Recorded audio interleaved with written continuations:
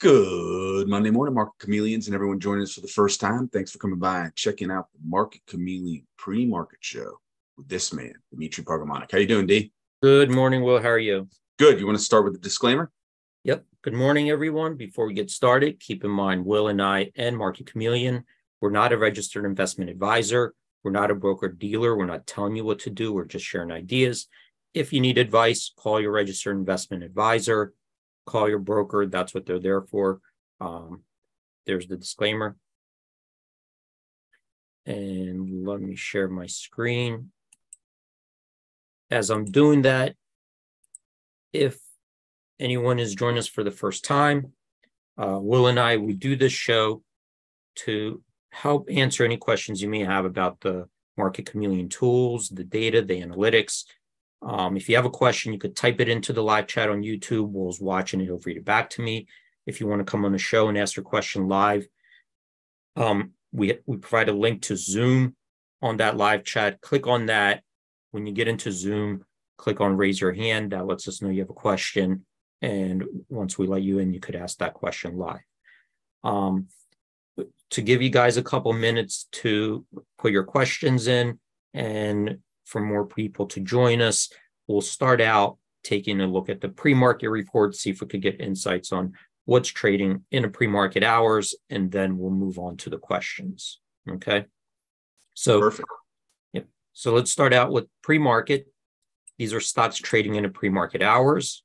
I'm going to come down here and we have a list of our most active stocks, our biggest percentage gainers, biggest percentage decliners, I see 93 stocks so far made our percentage gainers list, 156 on our decliners list. So from this perspective, looks like we're setting up right now for bearish bias at the open. Um, and you know, of course, there's that major news over the weekend about um, you know the the Hamas attack on Israel, and now that like you know conflict is like um, now like in full, I think like an award down there. So this is like our second flare up on the global in the geopolitical uh, landscape. We got Russia, Israel, both. Yeah, um, I mean you have you have Europe, you know, war a war in Europe, and now you have a, a war in the Middle East. In the Middle East, yeah, and all this has potential to get out of control, to spread, because you got you know some really you know advanced weapons both on both both parts. And, and you've got other you know countries and involved in there in a conflict that are getting could get sucked in. So that that's pretty considering all that you know the markets so far seem pretty muted to that you know you know to to what's going on. But now we got like two major events out there that could just you know suck the entire world into a conflict. Um, so, um, well let's continue on seeing what's going on in pre-market hours because if we have questions i do want to leave it for questions but let's come up here. And we have this calendar view and these are dates. You could go back and see what happened in pre-market hours. Um, you could see October 6th, which was on Friday, looked like we had, it was overwhelmingly bearish. You could see 1.6 billion on the buy side versus 9.3 billion. And that Friday, after the jobs report, which was good, looked like you know that in the market sold off in the morning, thinking, well, the Fed has more uh, tightening to do, more interest rate tightening to do for a longer period of time, but then it reversed in the middle of the day and we were up on the day, right? So was, I think the market was up over 1% on, on Friday. So it shows you the strength of the, the bullishness enthusiasm It's, is still in there. Um, and I think a lot of it has to do, if you look at all these AI conferences that are happening, you know, every, they're, you know Silicon Valley. I mean, they're all, really all over the world. You have all these AI conferences, and if you listen to them, they're extremely bullish. It's extremely, you know, if if you're listening to it and you're an investor and they're telling you about like all these apps that they're working on and how well it, it, you leaving those conferences you can't help yourself but be you know extremely um you know bullish on the future um and that i think could be part of like driving you know this enthusiasm even when we have like higher interest rates inflation and all these geopolitical risks. Um, but this is right now october 9th um, so far we have 273 stocks up. In the pre-market hours 498 stocks down um, as far as volume we have 92 million shares trading on up volume versus 62 million on down volume. If we convert that volume to dollar value we got 773 million dollars worth of stock trading higher versus 3 billion dollars worth of stock trading lower. So from that perspective still looks like a um, you know bearish bias in the pre-market you know but not not quite as like you could see compared to like friday um let's come down here we're going to look at it from one more perspective and then we'll take questions if you have questions will um when we look at this list we have um you, will notice we have small cap stocks in their uh, etfs leverage products any security listed on a major U.S. exchange. If it's traded pre-market hours and meets our conditions and thresholds for liquidity, volume, price, all that, it can make this list. To narrow down to a smaller group of stocks, we could use the filters above. If you have a watch list, you can um, filter this list by stocks in your watch list. We're going to use this one as an example, an ETF. So drop it down. We have different ETFs to select from. You have uh, some broad-based ETFs, sector ETFs. Um, this, choose this one, SPY, S&P 500 ETF. Click on that, and the list below gets filtered by stocks that are holdings in the SPY uh, ETF, which is which are the S&P 500 constituents. And here we see 27 stocks made our percentage gainers list, 31 on the decliners. So, like you know, you know more more bearish than bullish from that perspective, but not like an overwhelming amount. Um, you know, so that's what we have so far in the pre-market hours. We'll give it a couple minutes. I guess I'll I'll take some questions if you have them. Uh, we did have a question. I, I, don't know. Can you screen by defense stocks? Jack Jackie's asking defense stocks will do well. He's asking a question. Uh, mm-hmm. is there a way, I guess, we can see how the defense stocks are doing in the pre-market? I guess we could look at the perform. You know, so this this is shown performance by industry.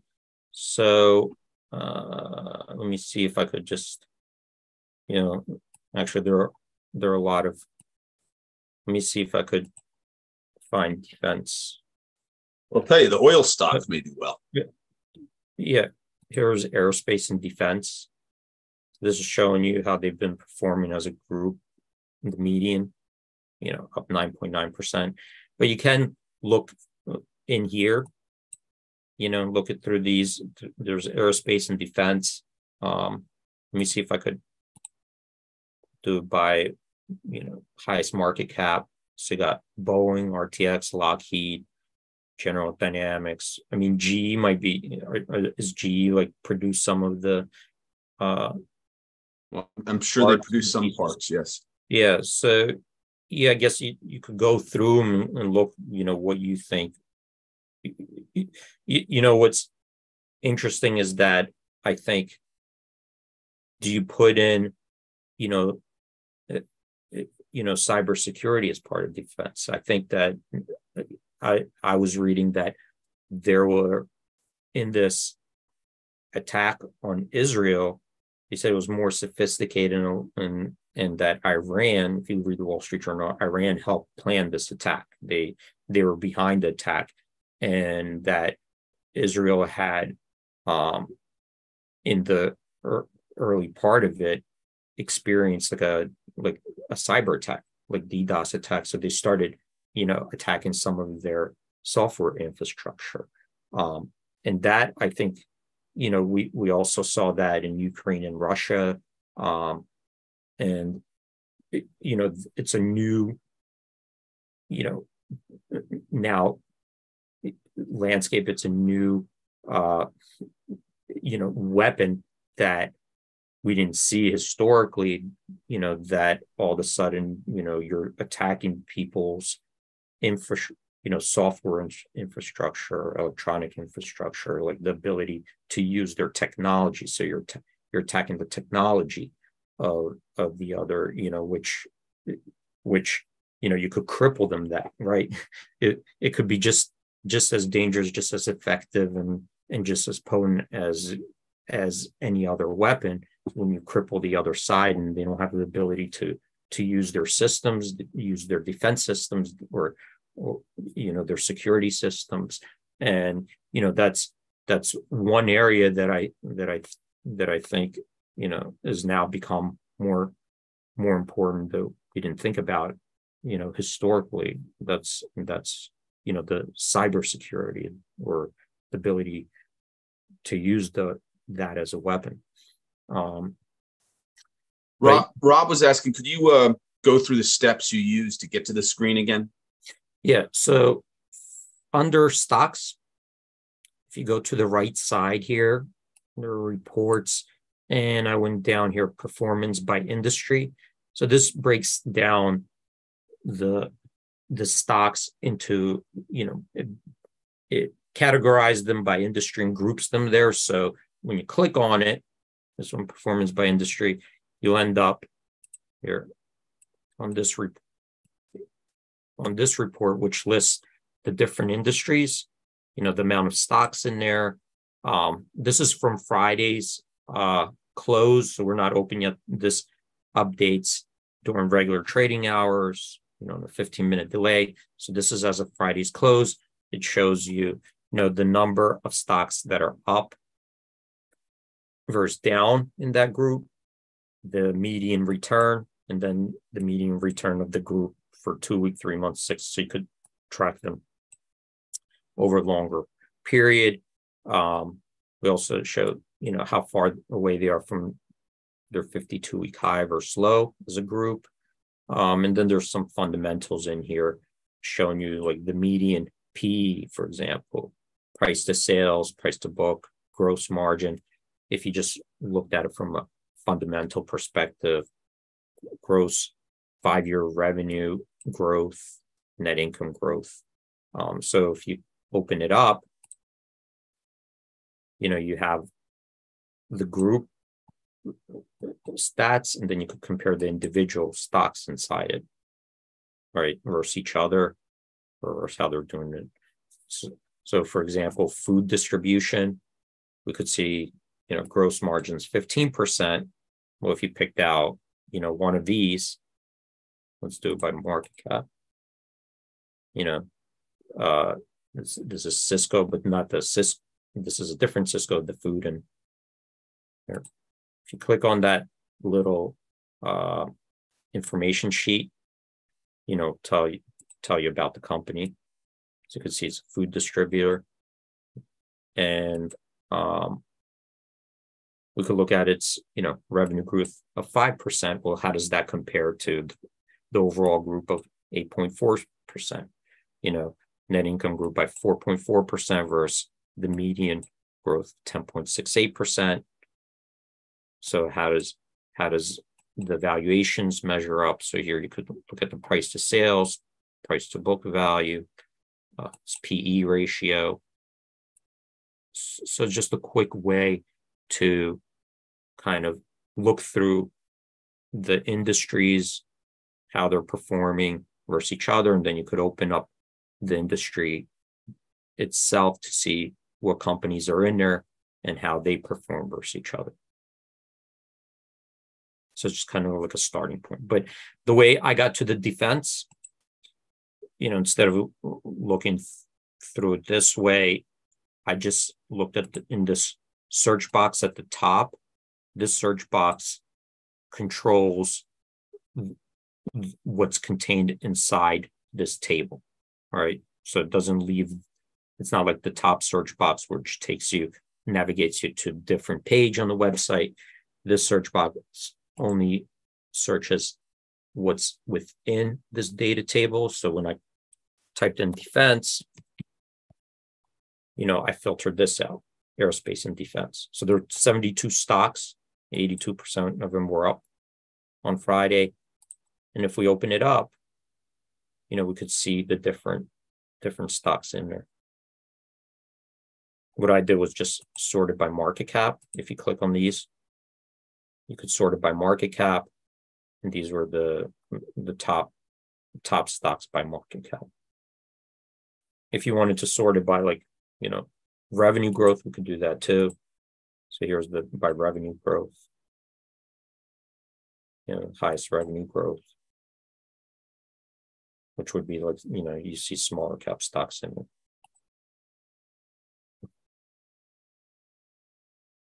Oh, as a reminder, Will, tomorrow we're having a webinar with interactive brokers at 2 p.m. And we're going to discuss the different trading sessions, you know, the differences, what kind of insights you could get between pre-market, regular trading hours, after hours, opening cross, closing cross. We're going to discuss that um, get some insights.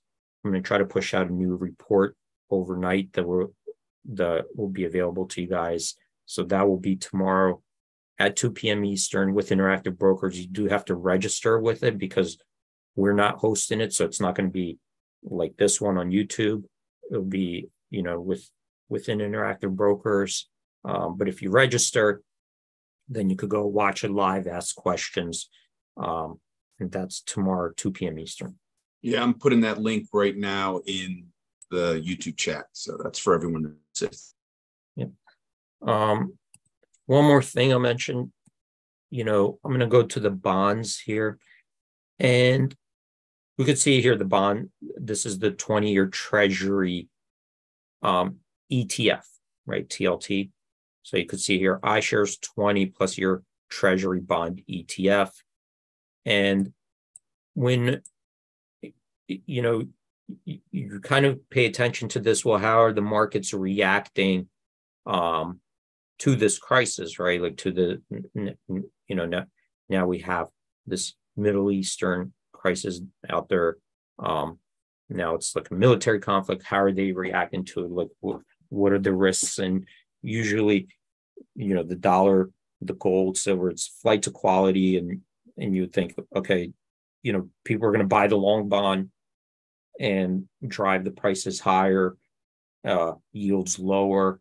But so far, yeah, they're, you know, they can't, it looks like they're putting a little bit in the treasury, but they're not really going for that longer dated maturities. You know, they, so, so if they are buying the dollar, it doesn't look like they're running towards the longer dated maturities or are anticipating that the Fed is going to, you know, decrease like you know decrease interest rates due to this right?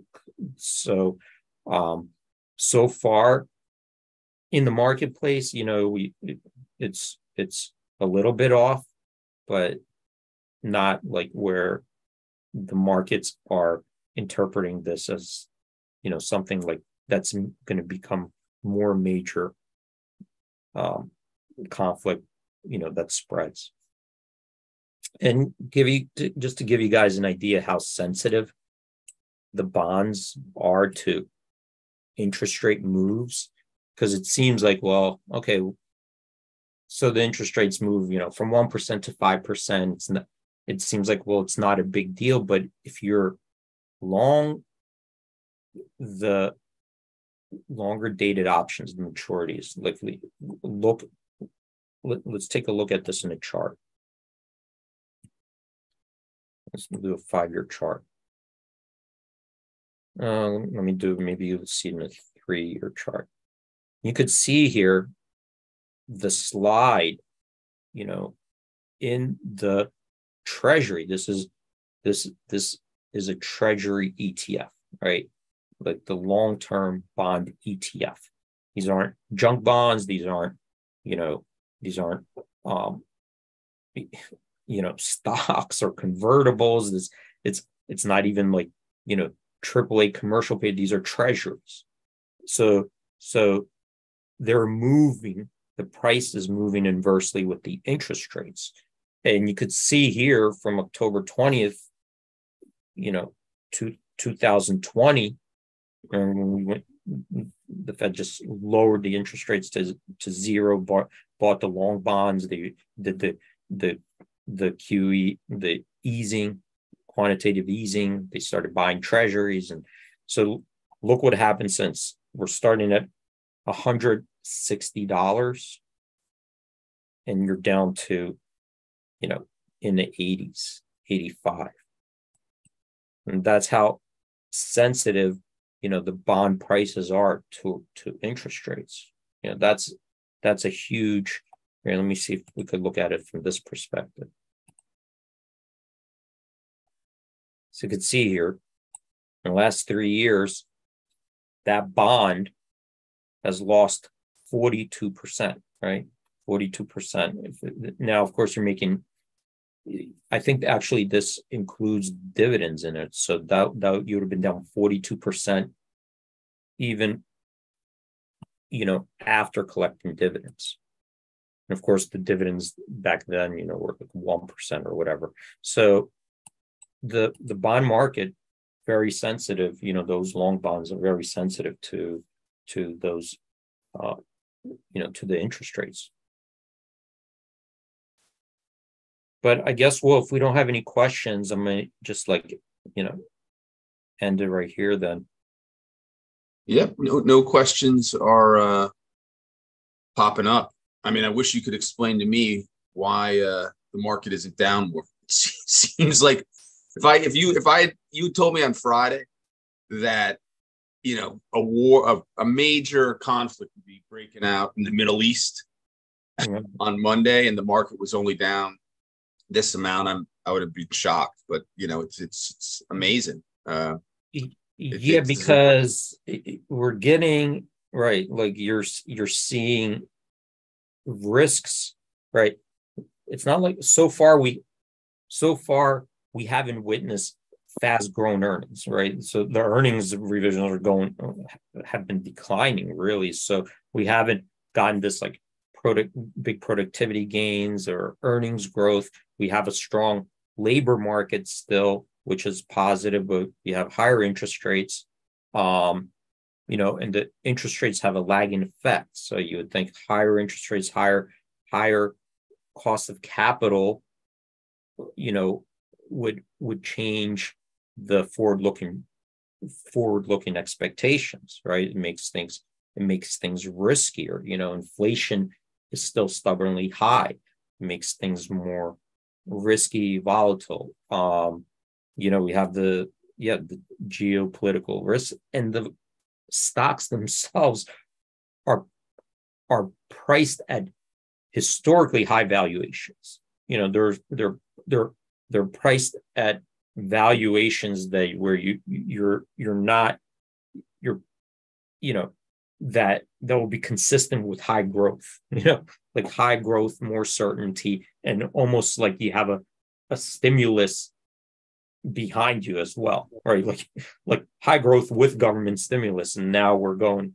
like the opposite way but the momentum in the stocks is is incredible. And the only you know i could only think about is that there's probably still a lot of liquidity, and in the tech space, it's coming. A lot of it's coming from the tech. Yeah, most most of it's coming from the tech space. It's coming from the tech space. We looked at this, I think, on Friday. You know, we we compared here, like we compared SPY, you know, to do we do like, you know, we compared SPY to like say the Russell 2000 and could see a huge divergence. And then we took the text, you know, NASDAQ 100 tech heavy, that that even diverged even more. So the tech space right now is really bullish, you know, like they're just, you know, they're just giddy over there with, and it has to be, you know, what they're seeing, you know, what they're, you know, the, their conferences, their meetings, their, you know, they're, they're talking about I think AI, you know, because we could see, you know, who are the big winners here, like NVIDIA, Meta, all these that have anything to do with AI is creating um, a lot of like you know bullish enthusiasm. And they're just looking at it like, wow, you know, like what, and they're pouring money into it right now. That's what that's what it looks like to me. So irrelevant of whatever's going on, they don't want to miss out on this like, you know, AI boom, right? That we're going to experience an AI boom. It's going to, you know, change. I think Jamie Dimon was saying himself, we're going to go to the AI technology is so good, we're all going to go to a three day work week. All right. So, so everybody's going to work three days, three days a week. Wait, weren't we just talking with someone the other day on a about the 24 hour op- options market? Is that going to come? How do you do that in three days? Yeah. Well, we're not going to even trade. Our AI is going to trade and just make us money. That's why we're going to, that's why we don't even need to work. You know, we're just going to press a button. The AI is just going to trade for oh us. It's going to make everybody. So I don't know who, who the, who's going to be on the other side of this AI, right? like, I don't know, because for trade to happen, somebody has to be on the other side of your bets. But the, the, maybe the conclusion is like, you know, that, um, this this will take care of everything and and it, it it's going to increase our productivity and you and i were talking about it that ai this technology has you know been around for a while like if you look at you could go on youtube and look at mit lecture you know the 10 years ago they were talking about it. It's been getting better and i think chat gpt kind of opened everybody's eyes um you know it, but it's been around you know for a while and, and, companies have been using they've been using it in trading they've already been you know they've been using it in social media you know google's been using internally meta's been using internally. Um, a lot of these you know amazon has been using into netflix you know they they've been using this technology already um you know you were already making that bet 10 years ago right? On 100%. Yeah. Yeah. You're investing in Netflix 10 years ago, you were making that AI bet or, or, or Meta or, you know, they're not, it's not like they're just, starting. and they're, and they're being priced like it's already successful, right? That, yeah, that, I mean, listen, you look that, at Meta as a perfect example. I mean, it was, you know, it's rallied off those lows because everyone was demanding, you know, they wanted to control their costs, right? And what was the hot, you know, that the the item that was going to change everyone's life, you know, two years ago was this was living in a metaverse, right? right? Everything operating inside the computer, like everyone, and they actually went went as far as to change their name, and it, the stock got really beat up because of that, because people wanted fiscal responsibility. They, you know, and and listen, AI in it, you know, when you read about it, it does have many more uses than I mean we we discussed the met you know quote unquote metaverse when that was going down yeah and we we all could see benefits potentially but you know not like this ai yeah. ai could touch everyone Uh, it could touch everyone yes. Yeah. so so it's probably yeah as you're building. and and again i say like that it, it, it already is touching everyone right? It's i mean touching everyone already. everyone sees how their phone responds to them you know and and how ads start showing up in your feeds. And that yeah. that is already artificial intelligence that's existed right? It's, it's there's so many things yeah we're already in it right. Yeah. we've been we've been in it already. The artificial intelligence we've been in it already. I think that maybe now it's becoming uh more accessible to you know what they're trying to do is make it accessible to other companies and industries and and say, well, if it works so well, you know, in in technology sector, you know, with with social media and advertising stuff, well, why don't we expand it and touch all these other companies and businesses and and and I think that's getting people really excited. I mean, if I listen to it and I get excited, you know, you're like you're you're listening to you know Google engineers and and to give lectures and they're like showing you these graphs and how much it's going to grow and how it's going to touch people and how it's going to improve so you know, how can you not get excited, especially like, you know, when they're telling you about, you know, how robots are going to be doing all this magic, magical, you know, solutions to our problems. It's, it is very exciting. But well, we're right up at 9 30. Yeah. Rob also mentioned there is some risk to AI as well. Oh yeah, well, like look, any technology, right? Then yeah. we're going to bring There's in bad two sides of every coin. That's for sure. We're going to bring the bad. Exactly. We've, we've, all we've all seen the Terminator series. I think that started with uh, AI. So with that, yeah. let's all try to have a great day. Awesome job, Demon. Yeah. As always, we're a minute Thank into you. the opening bell. Awesome job, buddy. Everyone, stay safe out there. Have a great trading day. Hope to see you guys tomorrow. All right, we'll see you. Tomorrow.